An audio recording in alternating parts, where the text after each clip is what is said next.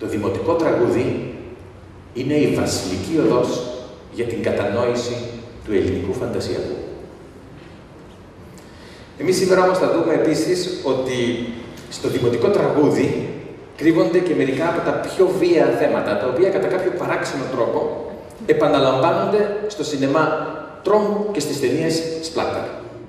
Η μάνα με τους 9 γιους και με τη μια την κόρη συνάντησε τον Χάνιμπαλ Λέκτερ, τον Ακέφαλο Καβαλάρη, αλλά και άλλους γνωστούς ήρωες καλτ ταινιών τρόμου. Όλα αυτά διαδραματίστηκαν στο opening του τρίτου Ταράτσα Film Festival. Ο διευθυντής του Φεστιβάλ Κινηματογράφου Θεσσαλονίκης σκόρπισε γέλιο και τρόμο στο κοινό, αναλύοντας την προέλευση των σπλάτερ ταινιών και αποδίδοντας τις ρίζες τους στα δημοτικά τραγούδια αλλά και την αρχαία Ελλάδα.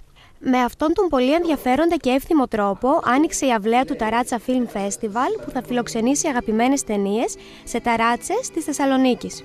Το Ταράτσα International Film Festival είναι ένα πολύ όμορφο, ζωντανό κινηματογραφικό φεστιβάλ που μετατρέπει τις ε, όμορφες ταράτσες της Θεσσαλονίκης σε κινηματογραφικές αίθουσες. Γι' αυτό το λόγο το Φεστιβάλ Κινηματογράφου Θεσσαλονίκης ε, που είναι ένας θεσμός ε, με πολλά χρόνια εμπειρία εδώ στην πόλη, αποφάσισε να το στηρίξει.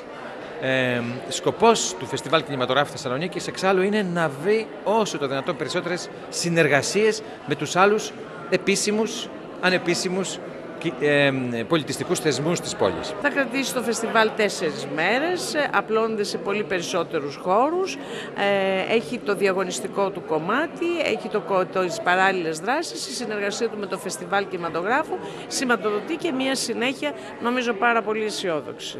Κάτω από τα αστέρια και με θέα την Αυγουστιάτικη Θεσσαλονίκη θα έχουν την ευκαιρία οι Θεσσαλονικοί να απολαύσουν δωρεάν ταινίες για όλα τα γούστα μέχρι και τις 28 του μηνός. Το επόμενο μεγάλο κινηματογραφικό ραντεβού της πόλης, στις αρχές Νοεμβρίου, είναι το Διεθνές Φεστιβάλ Κινηματογράφου. Ξεκινήσαμε, είχαμε μεγάλη προσέλευση κόσμου, προσπαθήσαμε να εξυπηρετήσουμε όσο περισσότερο κόσμο γίνεται.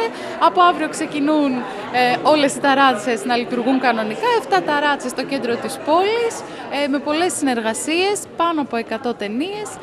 Πολλούς ανθρώπους θέλουμε να δούμε. Το Φεστιβάλ Κινηματογράφου Θεσσαλονίκης θα γίνει φέτος το πρώτο δεκαήμερο του Νοεμβρίου. Σκοπός μας είναι να αγκαλιάσουμε όλη την πόλη της Θεσσαλονίκης. Και ξέρετε ποιο είναι το όνειρό μου; Θα ήθελα ε, κάποια στιγμή οι Θεσσαλονικές να κρατούν ένα μέρος από την άδειά τους και να το παίρνουν το Νοέμβριο και για να έρχονται να βλέπουν ταινίες. Το Ταράτσα Film Festival θα φιλοξενηθεί σε 7 ταράτσες του κέντρου της πόλης. Πάνω από 100 ταινίες επιλέχθηκαν να προβληθούν αλλά και να διαγωνιστούν κάποιες από αυτές διεκδικώντας 5 βραβεία.